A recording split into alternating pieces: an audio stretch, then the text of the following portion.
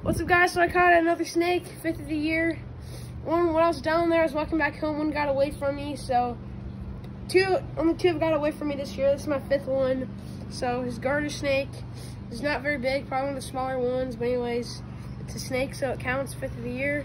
See you guys next time.